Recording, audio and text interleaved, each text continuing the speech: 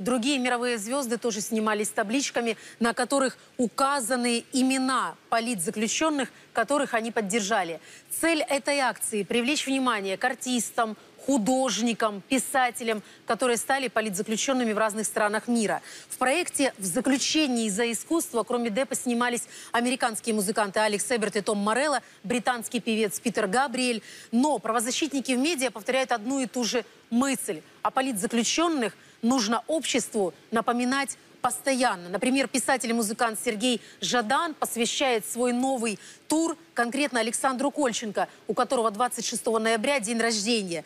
Охота на украинцев, кто остановит ФСБ? Таков вопрос на сегодняшний час нашего эфира. На него ответ ищем вместе с гостями. Георгий Лагвинский, народный депутат от Народного фронта, заместитель председателя парламентского комитета по вопросам прав человека, национальных меньшинств и межнациональных отношений. Сегодня в программе «Добрый вечер». Добрый вечер. Максим Куричий, народный депутат от блока Петра Порошенко. Здравствуйте. Добрый вечер. Мария Тамак, координатор медийной инициативы «За права человека». Здравствуйте. Айдер Муждабаев, заместитель главного редактора крымско-татарского телеканала АТР – Сегодня с нами и Елена Сотник, народный депутат Украины, объединение «Самопомощь», секретарь парламентского комитета по вопросам европейской интеграции. Всем добрый вечер. Итак, Федеральная служба безопасности насильно вывезла в психиатрическую больницу крымского татарина Муслима Алиева. Об этом сегодня написал адвокат Эмиль Курбединов. Алиев – один из шести задержанных по делу исламской организации «Хизбут Тахрир.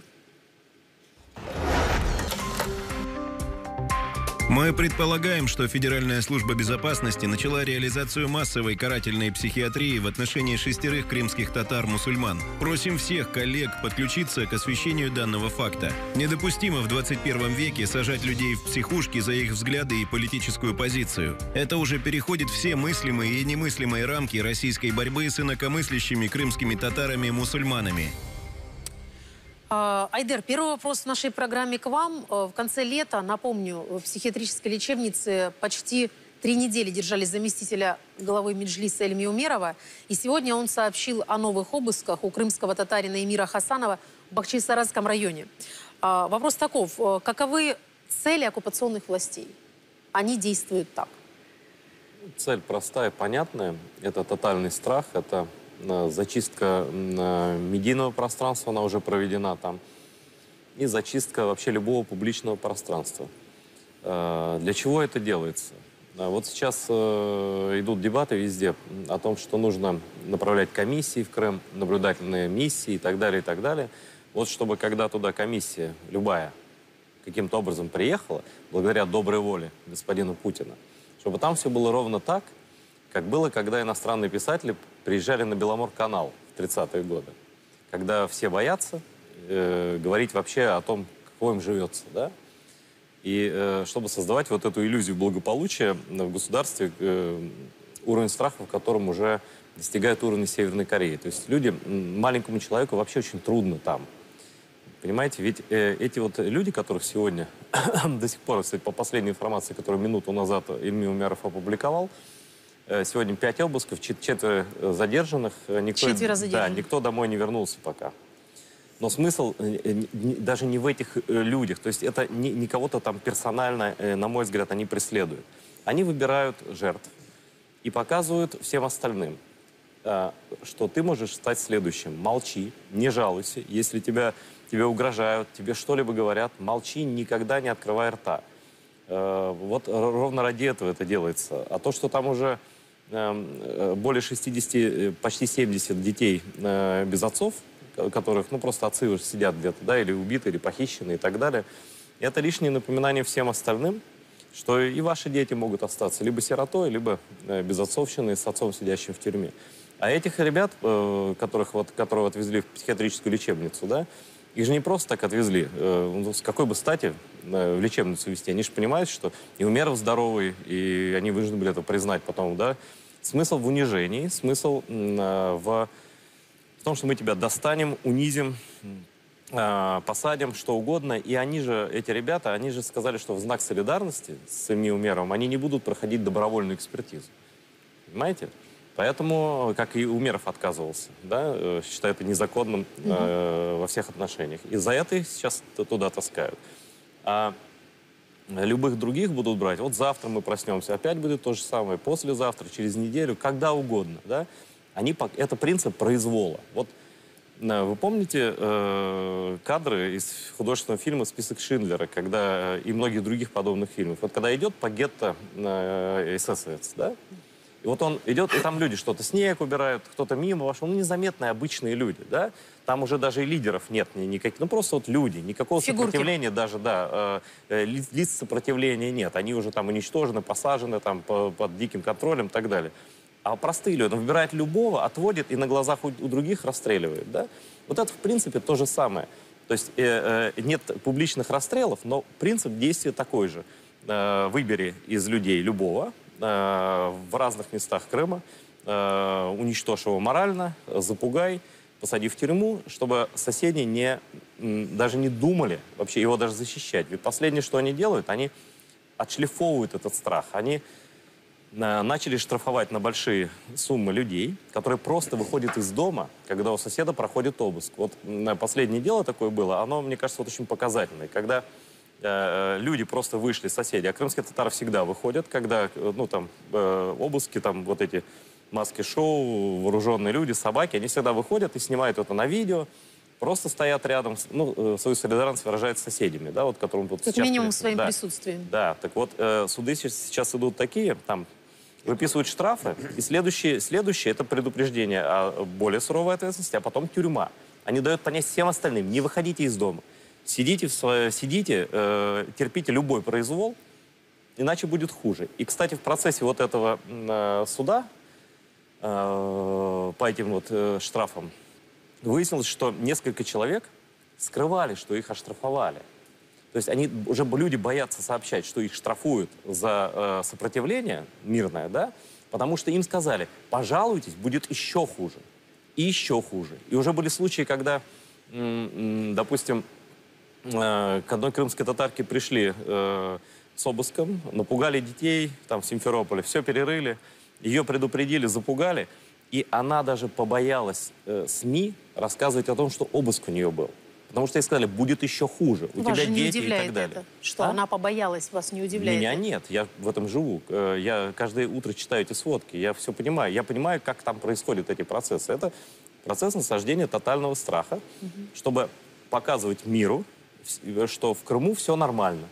Понимаете, как на кладбище. Всех зарыли, э, на всё всех нормально. плиты положили, э, и все. Спасибо, Айдер. Хочу еще напомнить, что вчера российское информационное агентство РИА Новости сообщило о задержании якобы очередных украинских разведчиков, а до этого 9 ноября в Севастополе были задержаны якобы украинские диверсанты. Георгий, э, продолжаю опять этот же вопрос к вам.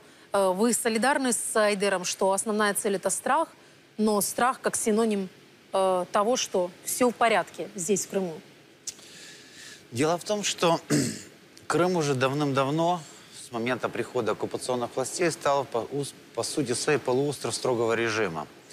Цель страха – это поставить людей в определенные рамки, где запрещено мыслить, как сказала госпожа Поклонская, выражать свои мысли согласно требованию закона, где страшно говорить правду.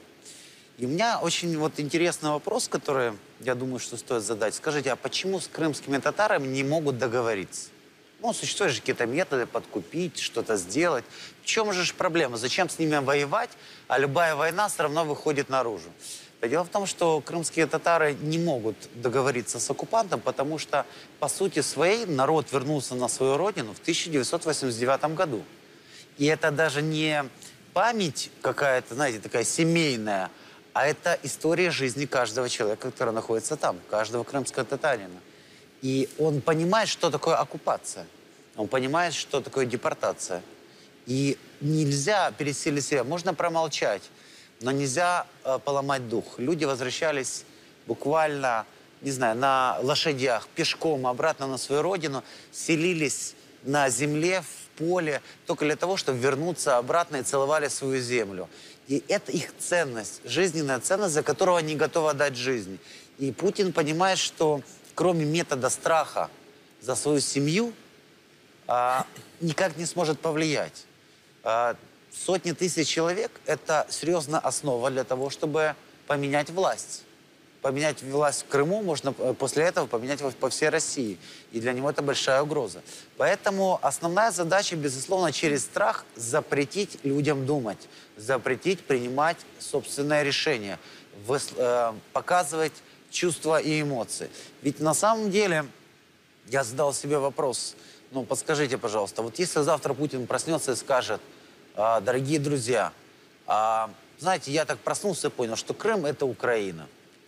Вот, вот, вот реально так. Вот я понял. Как вы думаете, много будет желающих сказать наоборот? Или скажут, нет, опять Россия? Все будут действовать так, как говорит пропагандистская машина. И это и принцип зомбирование, которое там происходит. Это страх, это невозможность идти против системы. И, безусловно, что-то ему удается, но в принципе все планы России не работают. Ведь они на самом деле достаточно одинаковые. А, ФСБ и КГБ это то же самое. Мы абсолютно знаем истории, особенно э, господина Глузмана, это известный психиатр, глава ассоциации психиатрии, который еще во времена Советского Союза раскрывал истории, где Советский Союз отправлял неугодных в психиатрические больницы. И сегодня мы видим абсолютно те же самые Та же методы. методика. Мы видим все абсолютно КГБшные методы, которые дальше они отыгрывали. В Азербайджане, на Горном Карабахе, я имею в виду, в Чечне. Все то же самое, план. Они просто предсказуемы, как две копейки. И тут э, э, надо понимать, что э, есть народ, который противостоит. Вот, например, на последней сессии парламентской ассамблеи Совета Европы мы делали круглый стол о правах э, человека в Крыму. И выступал э, архиепископ Климент. Он а- архиепископ ортодоксальной церкви Украинского патриархата. И он говорит, я э, ходил к своим верянинам в тюрьму. К Ахтему Чигозу, к моему верянину, меня не пустили. Но к Ульмию Мерому я прошел. И никого не удивило его слова, что он, архиепископ, христианин, идет к мусульманам и говорит, они мои веряне. Потому что в единой вере и в единой борьбе против оккупации нет различий национальности, нет различий религии. Есть только единая понятная цель, что нарушаются права твоих детей, нарушаются права твоей семьи, твоего народа. И нет никаких раз- э, ограничений. Поэтому в данном конкретном случае а, для ФСБ и для Путина это кость в горле. Крымский татарский народ, эти люди, которые борются сегодня практически без поддержки против оккупантов и защищают нашу Украину. Мария, Даже не Украину, а всю Европу, я прошу прощения. Вот так, наверное, правильно сказать, потому что там борются не за украинские ценности, а за европейские ценности. Ну, за общечеловеческие, потому что э, если уже подключаются к акции, тут даже не суть в том, что подключаются мировые звезды, но эти люди переводят эту, в эту плоскость, обращая внимание всего мира. Мария, напомните, пожалуйста, нашим зрителям, сколько сейчас политзаключенных в России и в Крыму, украинских политзаключенных? Потому что цифры фигурируют очень разные. Ну, справді е, цифри фігурують різні, і про це складно говорити, тому що, по-перше, от ви згадали, що вчора, точніше, позавчора, 15 числа, з'явилося чергове повідомлення про ще одного затримання, про ще одне затримання диверсанта, так, нашого гурівця, начебто. І ми ще взагалі жодної інформації не маємо ні про ім'я цієї людини, ні про обвинувачення і так далі. Ось е, я можу сказати, що це не менше 40 осіб, які зараз утримуються на території окупованого Криму, а також в Росії. От, але знову ж таки, е, коли ми говоримо про політв'язнів, коли ми говоримо про осіб, що утримуються з політичних мотивів, не можна забувати, звісно, тих, хто перебуває на окупованій території. Це перший момент. Другий момент. І він був відображений в от щойно е, ухваленій резолюції ООН. Це е, категорія, про яку ну майже не пам'ятають. Це е, люди, які ув'язнені, власне, отримали вироки перебували на території Криму в місцях несвободи, позбавлення волі, і їх Росія незаконно вивозить з Криму на свою територію. Тобто це є воєнний злочин, от це є незаконно, і е, добре, що ООН звернула на це увагу, власне кажучи, в резолюцію Україна і ООН. І сьогодні МЗС видало так само про це заяву. Це важливо. Е, Є також окрема категорія. Я просто буквально одним штрихом скажу про тисячі справ, коли наші громадяни обвинувачуються або засуджуються за так званими наркостаттями. Це 228 стаття Кримінального кодексу Російської Федерації. Е, Тут, звичайно, є велика доля відповідальності людей, які їдуть в Росію ну в такий момент, да, в країну окупант. Заробляти кошти, от але е, як правило вони не знають, куди вони їдуть, що вони будуть брати участь в незаконній діяльності. Потім вони вже просто ну як раби, так тобто це вже рабство. Ну це, це окрема тема. Е, Я би хотіла е, про такі моменти сказати. По-перше, е, в нас є заборона меджлісу, як відомо, так. І поки що немає якихось кримінальних справ серйозних, але те, про що каже знову ж таки Еміль Корбадінов, це те, що зараз вже під час якихось допитів чи опитувань слідчі е, ФСБ так акуратненько починають людей розпитувати. А от ми ви, мовляв, були в меджлісі, а що ви кого ви знаєте, і так далі. І так далі. Тобто, і найближчим часом ми можемо отримати вже кримінальні справи по меджлісу. А, і ну, це може бути абсолютно масове явище, це дуже велика небезпека. Це перший момент. Другий момент я би хотіла звернути увагу на те, що от е, сказали про сьогоднішні події пов'язані з психіатрією, і прозвучала цифра 5, по-моєму, так чи 6. Насправді е, є чотири справи кримських мусульман, і в рамках цих справ затримані або вже засуджені 19 кримських татар. Ось четверо вже перебувають в Росії. Вони вже отримали свої терміни, тобто масштаби е, величезні. От і ем, так само важливо сказати про е, тих диверсантів в лапках. От знову ж таки їх сьогодні згадували. На мій погляд, ось це останнє затримання, яке відбулося трьох е, наших громадян, було приурочене саме до Генасамблеї ООН. А, тому що а, мені здається, що мета Росії не лише залякати людей, це безумовно. Я абсолютно абсолютно погоджуюсь з попередніми спікерами. Задача Росії, знаєте, перевернути все до гори дригом. От не Росія агресор, а Україна, тому що вона засилає своїх диверсантів в Крим, начебто російський. От це така дуже брутальна, мені здається, технологія. І е, знаєте, дуже багато хто сприймав комічно те, що те, те все, що показували е, в сюжетах. Там ці всі е, пейнтбольна зброя, там да е, дерев'яна булава, і особливо візитка Яроша всіх смішила. Так, от я хочу сказати, що це вже не вперше. Її, як написав Попков, е, адвокат. Була вона була взята слідчими в якості доказової бази. І це, звісно, комічно, але це вже не вперше. І я думаю, що це буде фігурувати як доказ, тому що в справі Ільдара Дадіна, росіянина, який теж зараз його ім'я відоме на весь світ. Він майданівець, він брав участь в майдані. Він виступав на акціях антивоєнних в Росії. Так, от в його справі так само уже у вироку, у тексті вироку. Фігурувала візитка Яроша, яку знайшли слідчі в нього, як підтвердження того, що він, значить, е, бандеровець.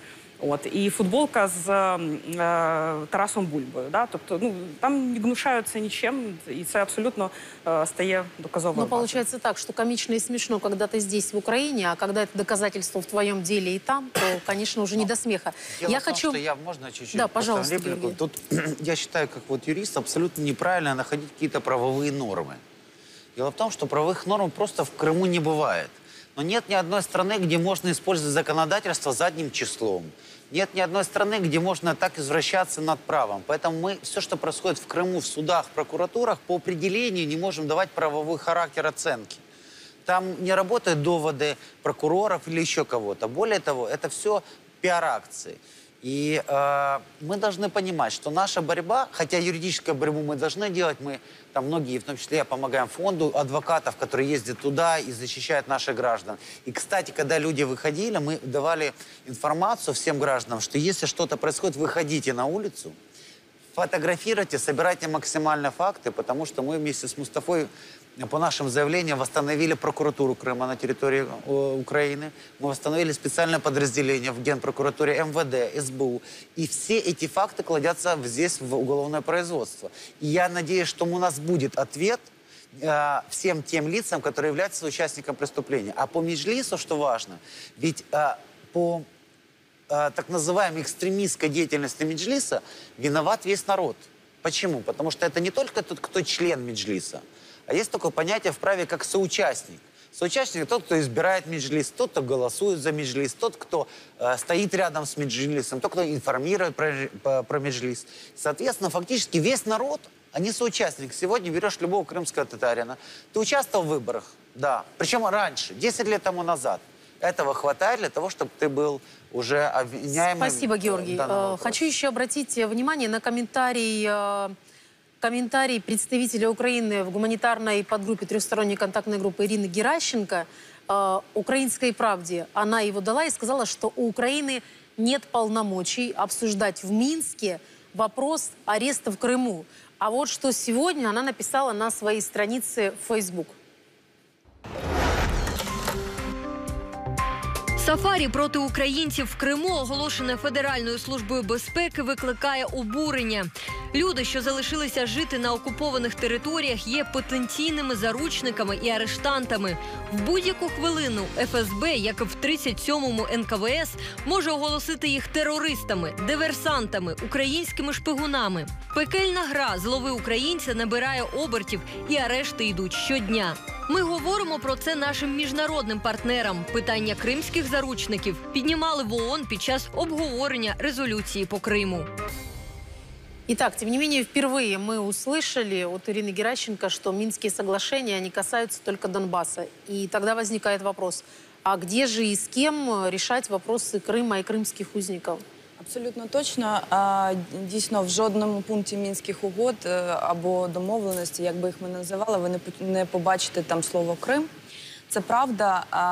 Є е, в цьому сенсі е, хороша новина про те, що на сьогоднішній день більшість країн світу е, визнали незаконною окупацію Криму. Більшість країн світу підтримують українську цілісність. А погана новина полягає в тому, що дійсно в нормандському форматі, який є єдиний формат, поки що на сьогоднішній день переговорів, е, в тому числі щодо врегулювання конфлікту з Росією, не фігурує дане питання, і вирішення даного питання є, ну скажімо так, сірою зоною.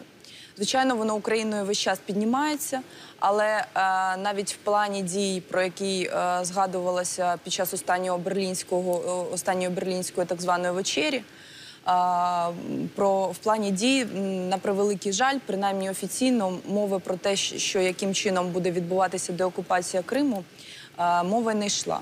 Але тим не менше, я думаю, що е, ця резолюція, яка у нас на сьогоднішній день була проголосована в третьому комітеті в ООН, вона є ключовою.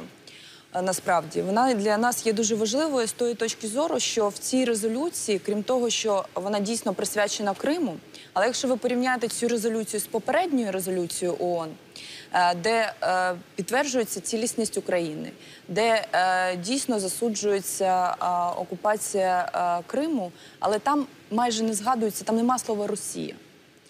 Е, В той момент е, всі е, країни-члени ООН вони більше голосували е, за дух, тобто за підтримання української цілісності. А от в цій резолюції в ній вже дуже чітко говориться про те, що Росія є агресором, про те, що е, іде незаконна е, окупація Криму, про порушення прав, про до речі, встановлення права, незаконне встановлення права Росії на цій окупованій території і багато інших речей.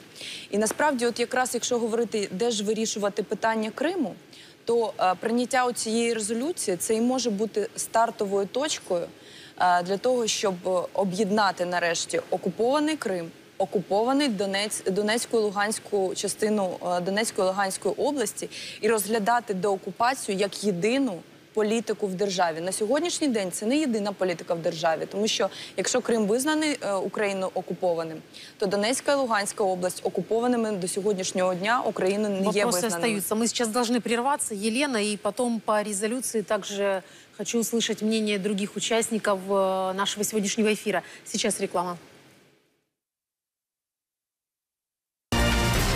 Все мировые новости, самые важные, за пять минут. Также эта программа выходит по выходным э, в субботу и воскресенье в 20.20 и 19.50. Сейчас продолжаем э, с той темы, которую затронула Елена Сотник.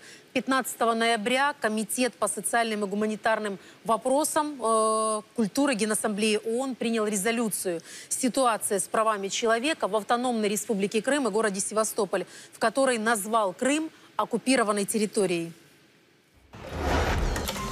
Генеральна асамблея засуджує порушення прав людини, дискримінаційні заходи та практику щодо жителів тимчасово окупованого Криму, у тому числі кримських татар, а також українців та осіб, які належать до інших етнічних і релігійних груп з боку російської окупаційної влади. В этой резолюции он также призывает Россию незамедлительно освободить украинских заключенных, выполнять свои обязательства в рамках международного права. Хотя Георгий сказал, что никакого правового поля тут нет совершенно в этом вопросе. Как вы считаете, Максим, резолюция действительно поможет в освобождении украинских политзаключенных? Э, Я вам хочу сказать, что э, процесс пошел. И не случайно, что этот голосования по этому проекту э, украинской э, стороны, резолюции по Крыму, он не случайно совпал э, с решением Международного уголовного суда о признании международным конфликта между Украиной и Российской Федерацией. И это означает о том, что э, все равно когда, все равно через сколько лет, но будет поставлена точка военным конфликтом э, между нашими странами, будет поставлена э, точка, и этих военных преступников будет ожидать Гаагский трибунал. Э, Вы будут- представляете, вы говорите все равно, когда а, Айдер, Мария э, сейчас говорили о конкретных людях, которые там в Крыму э, страдают, и все равно когда, наверное, такая страшная фраза в данном случае. Безусловно, что хочется как можно поскорее. Это, это эмоция. И на самом деле это просто-напросто нас воодушевляет на ту борьбу, которая сегодня проводится на международном поле, на международной арене.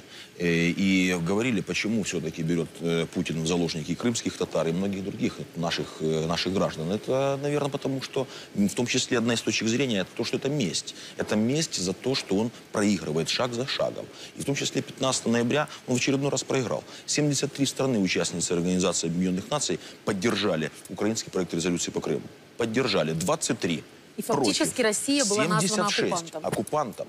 Оккупантом впервые в документах Организации Объединенных Наций Россия названа оккупантом, а действия российской власти на территории Автономной Республики Крым, Украина оккупационной властью. Э, такого никогда раньше не было. И 76% в ООН, в ООН, в ООН, безусловно, в международных документах ООН.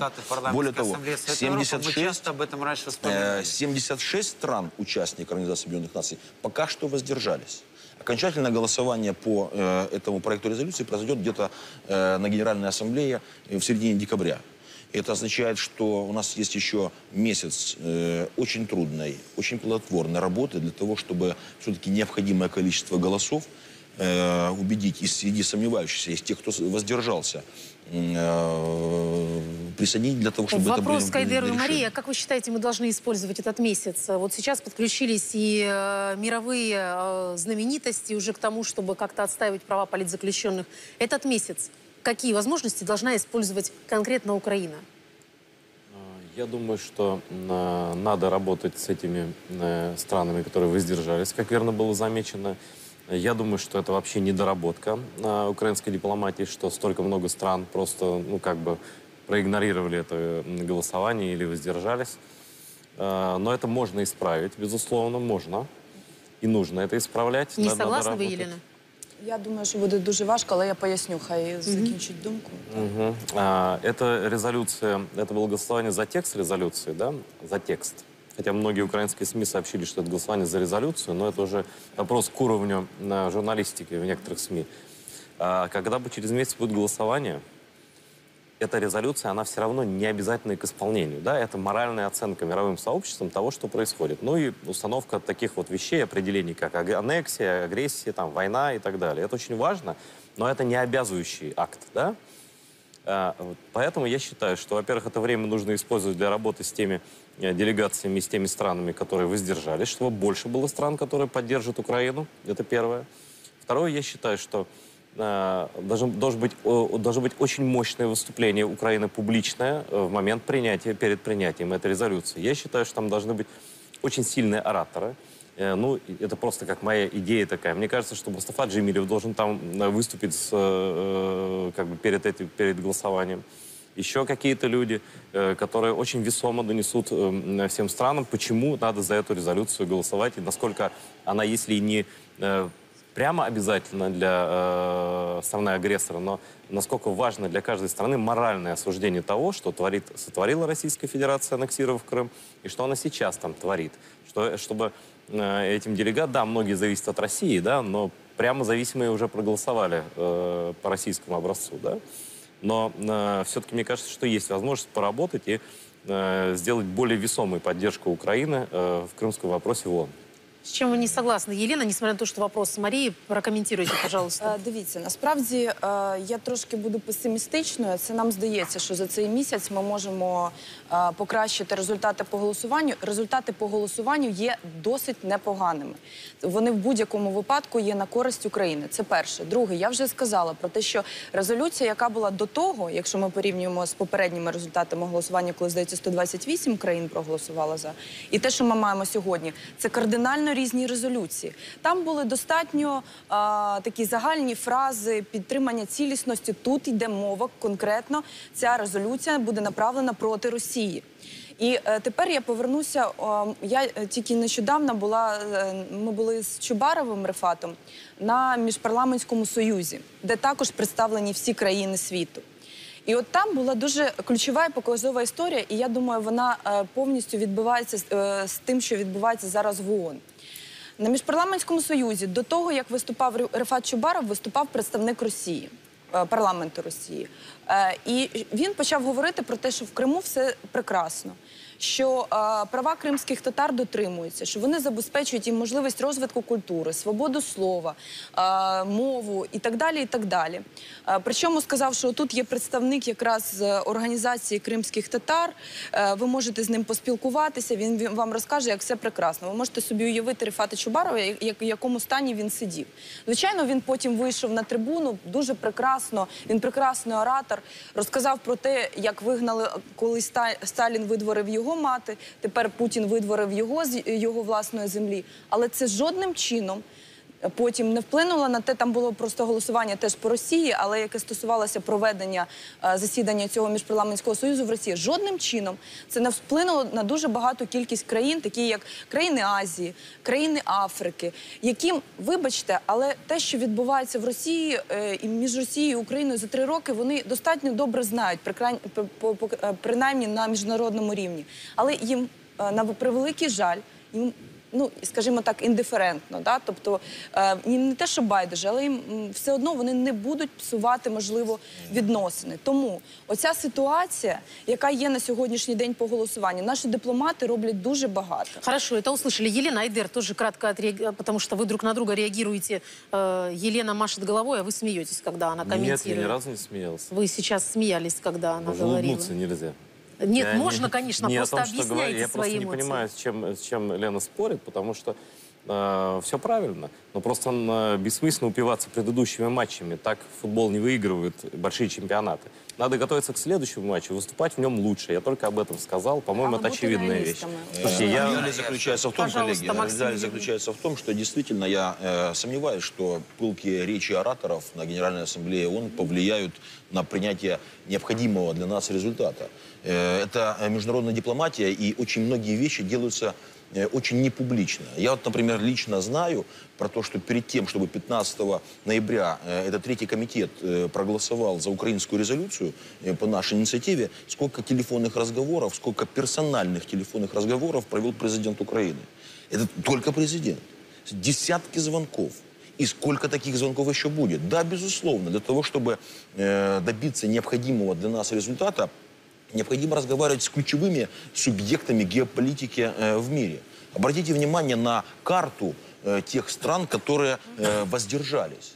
Это очень много стран-участники ООН, которые находятся в Латинской Америке. Безусловно, они прислушиваются к мнению Соединенных Штатов Америки. Да, случилось таким вот образом о том, что э, были выборы в США, э, когда проходились, э, определялись по голосованию по этой проекту резолюции. И сегодня выборы проведены. Необходимо заявление добиться, заявление республиканской Максим, партии. вы сейчас Работать сказали о действиях президента и международных звонках, а я хотела напомнить о событии 14 ноября, которое произошло в понедельник. Родственники и адвокаты узников Кремля сообщили, что отправили обращение в администрацию президента, СБУ, СНБУ с просьбой, и эта просьба звучала в нашем эфире еще за две недели до этого, назначить конкретного человека или учреждения, которые будут заниматься освобождением пленных на территории России и Крыма и отчитываться об этом. Вопрос Мария вам. Власть услышала? Ні.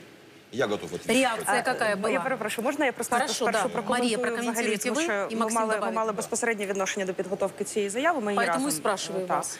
Просто е, я хотіла би е, з вашого дозволу ще е, паралельно подискутувати з пані Іриною Гращенко, тому що а, кримські заручники вони не є чимось, знаєте, от. Вони, вони так само перевозяться в Російську Федерацію дуже швидко. Так, ось ті, які нещодавно були затримані, останні, вони вже за деякою інформацією, можливо, навіть перебувають десь там в Лефортово, в Москві. Тобто не, немає якихось кримських заручників. І те, що люди перебувають на території Криму, який є недосяжний, наприклад, для МЗС, для консулів, це означає, що вона недосяжна для консулів, але це не це не знімає відповідальності з України. Е, Це дуже важливо розуміти. І у нас, е, за моїм враженням, е, немає все ж таки якогось системного підходу, системної роботи з питанням в'язнів Кремля. Дуже багато що робиться до МЗС. І до, до речі, до МЗС у мене взагалі найменше питань. Я вважаю, що наша дипломатія робить дуже багато для по цій темі. Ось і власне кажучи, ця заява вона була оприлюднена з тією метою, щоб люди, чиї члени родини потрапили в цю ситуацію, аби з ними була якась безпосередня комунікація, їм повідомляли, які кроки здійснює Україна не лише на дипломатичному фронті, а безпосередньо для звільнення. І тут дуже важливий момент. Пані Ірина про це не написала прямо, але це читається між рядками, що і, це та думка, яку ми так само зараз підкреслюємо, що якщо Росія не хоче говорити в рамках мінського процесу про звільнення в'язнів Кремля, тобто тих, кого вона, начебто, переслідує в рамках якогось кримінального процесу, то треба пропонувати вивести це, можливо, це гуманітарне питання в окремий формат. І не говорити про це в мінську, а обговорювати це окремо. І в мене враження склало, що пані Ірина цю думку також якось між рядками підтримала. Хоча Э, Совершенно верно. Э, Просто о чем идет речь? Э, Друзья, ну, все-таки, что касается, назовите конкретную фамилию, там, должность, кем он занимается, каждый э, должностное лицо действует в рамках своей компетенции. Об этом говорит и украинский закон, об этом говорит украинская конституция. И совершенно очевидно, учитывая ту э, суровую объективную реальность, что каждым днем наших заложников, украинских э, граждан становится все больше и больше в заложниках э, у ФСБ, у, Максим, у есть вы не российских считаете, властей, что должен конкретный речь, человек говорить о том, что происходит с политзаключенными? становится, На этот вопрос Татьяна, ответьте, пожалуйста. становится на порядок денный сегодня актуальный вопрос создания своего рода межведомственного органа, который будет конкретно межведомственный. И с прокуратуры Крыма, восстановленной вот благодаря и по инициативе э, наших коллег, и о службе безопасности Украины, которая проводит рутинную работу, которую просто не видят, ее нельзя Сейчас не говорить даже описывайте людям эту рутинную работу, в том числе и. Министерство Дополняйте, иностранных Георгий. дел. Межведомственный орган, который будет заниматься вот освобождением наших Ну, заложников. собственно, Можно об, об я? этом Постоянная говорили система. адвокаты и родственники. Вы же сейчас Постоянная не система. ответили А на я этот сейчас об вопрос. этом говорю. Вы сказали, что это важно, А так я же, как и сейчас об сказали этом они. говорю, о том, Можно что я этот попытаюсь? вопрос становится в порядок денный. Заручники були рік назад, і Пожалуйста, півтора року Георгий. назад. Ну, Можно я все-таки, с вашего питание позволения, было добавлю все актуальным то, что Добавляйте, сказала добавляйте, Елена, не и все теряем то, что время. сказал э, э, уважаемый Айдер. Первое, Я освобождаю. первое, то, что я хотел сказать с уважением своих коллег, э, то, что мы неправильно ведем подсчет. Вот по той же резолюции. Не вся та страна, которая, не каждая та страна, которая голосовала против нас или за нас, наш друг или наш враг. Как считаете? Это первое. Безусловно, потому что, смотрите, вот, например, в парламентской ассамблее Совета Европы нет э, русской делегации. Но я являюсь вице-президентом самой большой политической э, группы в э, ПАСЕ, это Европейская народная партия. Мы каждый день воюем там с агентами Крыля, которые тупо блокируют все наши инициативы. Это кто? Это представители Франции, Швейцарии, Голландии.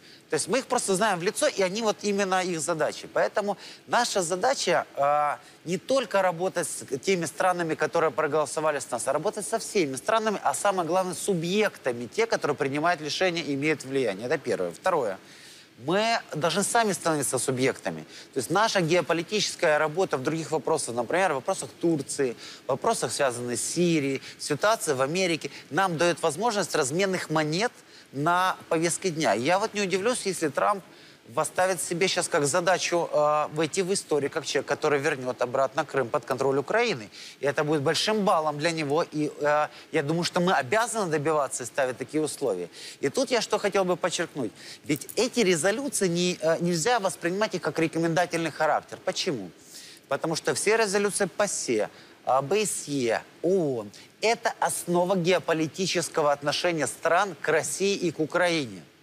То есть создаются такие компании, как Faraday Futures, которая за два дня собрала миллиард долларов на новые технологии электромобилей. Это значит, страны инвестируют деньги для того, чтобы уходить от газовой иглы или э, энергетической иглы России. Это новый виток э, развития вооружений без России. И значит, фактически Россия становится изгоем. И здесь очень важно, чтобы каждый документ доносился, и они строили свою экономическую, социальную и геополитическую позицию без России. И последняя вещь. Мы далеко ошибаемся, если мы считаем, что санкции – это все. Потому что, а, поверьте, 10 простых шагов. Например, запретить российским банкам открывать счета в долларах США в Америке. Или просто открывать счета в Америке. Все, в России коллапс.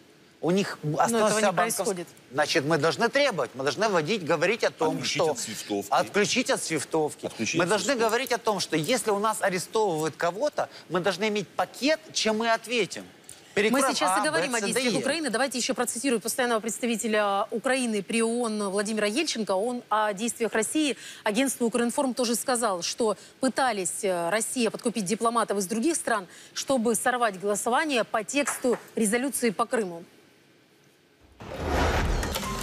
Ми знаємо від наших друзів багатьох країн, особливо у віддалених регіонах, що російські посольства у інших столицях або вдавалися до відвертого тиску і шантажу, що мовляв, якщо підтримаєте цю резолюцію, то ми виступимо проти вас у конкретних питаннях, або ж до елементарного підкупу. Просто заносилися гроші.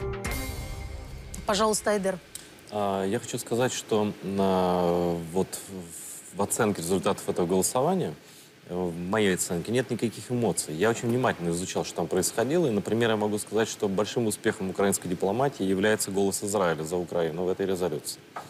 Я Это а, знаю. очевидно так. Ну, вы знаете детали, да, вы политики, я никто, но я просто знаю, что э, это вот очевидно, это то, что это открытые источники. Ваша работа, что Георгий. Результат Э, есть. Не исключено. Ну, знаете, абсолютно случайно мы в этот... Кратко, чтобы не перебивая Айдера. лишь А поражение Мы сирота. абсолютно, не абсолютно случайно именно на следующий день после того, как проголосовал Израиль, мы проголосовали в парламенте ратификации договора об работе э, наших граждан в Израиле с правом работы. Вместе с этим абсолютно не случайно хочу обратить внимание, что после неудачной поездки израильского депутата в Крым и открытия, по-моему, заявления уголовного производства, МИД Израиля официально отправил ноту, и она до сих пор есть на сайте МИДа Израиля, о том, что Крым – это Украина, временно оккупированная территория. Посещение этой территории без разрешения Украины является уголовно указуемым по законам Но это Украины. появилось только сейчас. Это Цепочка появилось, событий. сожалению, не, это уже раньше я, было. я продолжу. Да. Смысл в чем? Это говорит о том, что нужно работать. И что эта работа принесет результат, и она не пустая. Если из э, э, 10% этих стран проголосуют, э, которые были нейтральны за резолюцию, это будет результат. И э, история и с Израилем показывает, есть история, я все внимательно анализировал. Есть Азербайджан, который вышел из зала в тот момент, когда было голосование. А в Азербайджане, извините, что мы имеем? Мы имеем дело с территориальной проблемой в Азербайджане. И э, я думаю, что у украинского государства, у президента, и у дипломатов есть возможность поработать с дипломатами Азербайджана, например, которые имеют свои проблемы и которые в другой раз могут попросить поддержки украинского государства в каких-то резолюциях. И так с каждой другой страной можно поработать и проанализировать, у какой страны есть какие проблемы аналогичного плана, интересы. Есть европейские страны, есть, извините, Сербия, которая э, поддержала позицию России. С ней тоже можно работать. Эта страна стремится в ЕС. У этой страны есть тоже, ну мы знаем, да, не будем повторять, с ними Да. тоже можно и нужно работать. И я думаю, что эта работа принесет результат, если ее делать. И последнее, что касается, э, что не нужно там выступать и так далее. Вот есть такая штука, очень хорошее э, высказывание. Будьте реалистами, требуйте невозможного. И э, если все действует по сценарию, знаете, так ходить, вот как, как в шахматах, вот по клеточкам, да, вот это не нужно, а это лишнее, а вот здесь мы не будем выступать. Моральная оценка в мире, хорошая речь на Генассамблее, э, которая будет воспринята странами эмоциональная, про- четкая, ясная и аргументированная, она имеет значение, даже если она не повлечет после этого каких-то прямых цифровых э, результатов. Понимаете, это тоже Эквивалентов. имеет значение. Осадок от таких выступлений остается. Мы не должны преуменьшать того, что Украина, кроме всего прочего, должна и доносить свою позицию публично. И это не обязательно кулуарная работа. Публичная политика тоже работает и э, в Европе, и в ПАСЕ, и где угодно. Это тоже очень важно. Пожалуйста, Елена. Е, Я дуже коротко з приводу дипломатії Росії, з приводу дипломатії України. Я з вами повністю погоджуюся. І Я думаю, що якби ми ходили за сценарієм або по клітинкам, то насправді не мали б жодної резолюції ні в ОБСЄ, ні в ПАРЕ, ні в ООН, ні в інших організаціях. Тому що багато з цих організацій насправді ну так в е, таких е, е, кавичках окуповані Росією. you. Наприклад, в секретаріаті парламентської асамблеї дуже багато росіян. 50% це працюють росіяни. А секретаріат дуже впливає на багато проєктів рішень або на блокування рішень.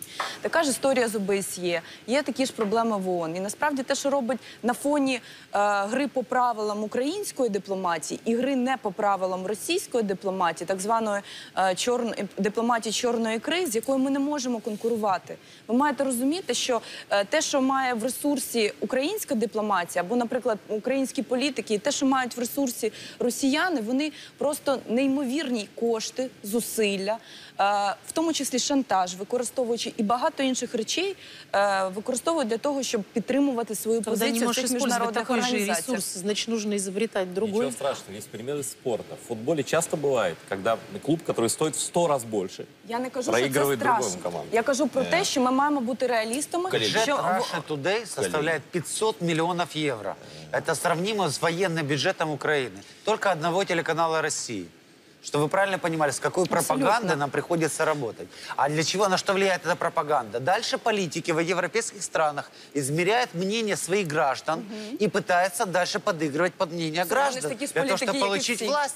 И на это рассчитывается. Более того, во многих странах говорят, извините, мы не можем, мы свободная страна, мы не можем закрыть рот кому-то, если вам не нравится их мнение. Поэтому тогда и может выступать, мы им даем им возможность и так дальше, и так дальше. И тут, конечно, не просто противостоять, но мы обязаны противостоять. Мы не И вспоминаем сегодня имена всех 40 политзаключенных, но, тем не менее, некоторых. Э, Также есть свежий факт о том, что заключенные в России украинцы Николай Карпюк и Станислав Клых подписали документы для подачи иска в Европейский суд по правам э, человека. Об этом вчера в комментарии агентству «Интерфакс Украина» заявила спикер Министерства иностранных дел Украины Марьяна Беца. Сьогодні, 16 листопада, консульські посадові особи нашого консульства в Ростові-на-Дону зустрілися з українськими політичними в'язнями Миколою Карпюком і Станіславом Клихом, які перебувають у СІЗО міста Грозний Чеченської Республіки.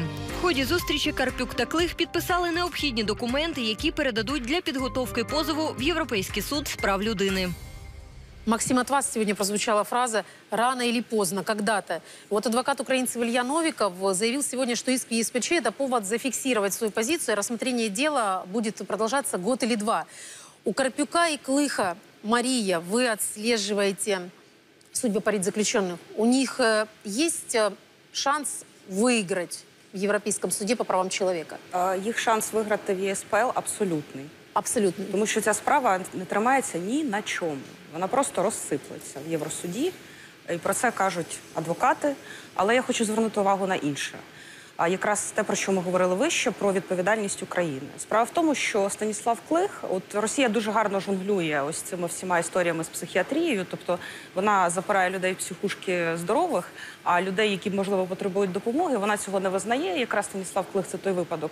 І так і не була призначена незалежна психіатрична експертиза, хоча з відповідними запитами, клопотаннями зверталися і в тому числі міжнародні представники міжнародних структур організацій до Росії. І е, власне для нас зараз головний головне побоювання, ну страх полягає в тому, що е, Станіслава Клиха будуть етапувати. Куди його будуть етапувати, ми звісно не знаємо, але це відбудеться найближчим часом, тому що вже апеляція була розглянута. І що з ним станеться на етапі, абсолютно не прогнозовано. Тому що у людини справді складна ситуація з психікою, що саме ми не знаємо, тому що експертиза адекватно не була проведена. Я думаю, що це зараз головний ризик в цій справі. Ну і насправді Микола Карпюк також не в найкращому психологічному стані перебуває. А, Нам з ним вдається листуватися через адвоката, і ну ситуація не дуже добра. От саме з цими з цими двома. Спасибо. Уходим снова на рекламу. Это буквально